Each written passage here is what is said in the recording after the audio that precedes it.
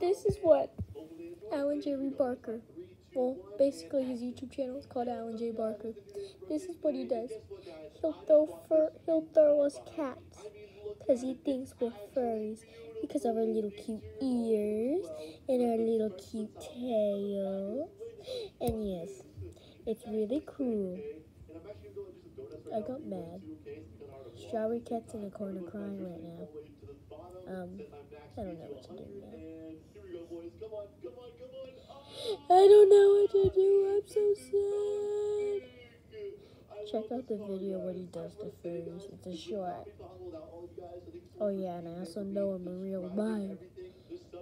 He's not really a monster. He's kind of a tattletale. But what? Boy, is he. What? Um, bye.